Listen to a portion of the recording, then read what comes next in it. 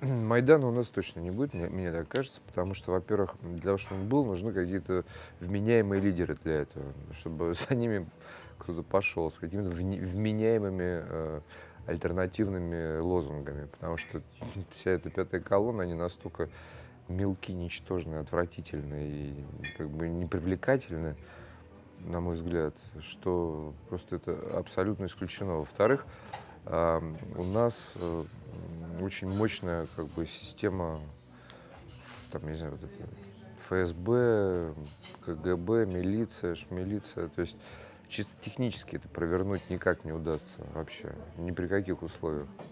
Просто я обратил внимание, как грамотно все это делалось, когда даже там у Немцова на мосту застрелили и пустили по центру эту демонстрацию. Еще обратил внимание, как его грамотно пустили, что они часто по набережной, потом по мосту, еще куда-то, что там вообще не рыпнешься. То есть ни влево, ни вправо. Ты прошел быстро, как в мавзолее, и все, и ушел.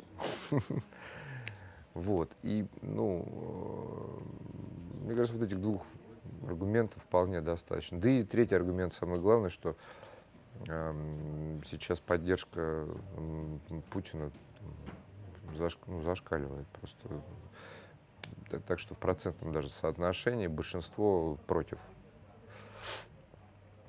Вот. Но вопрос, мне кажется, с Украиной все равно надо как-то решать, хотя бы до наших президентских выборов.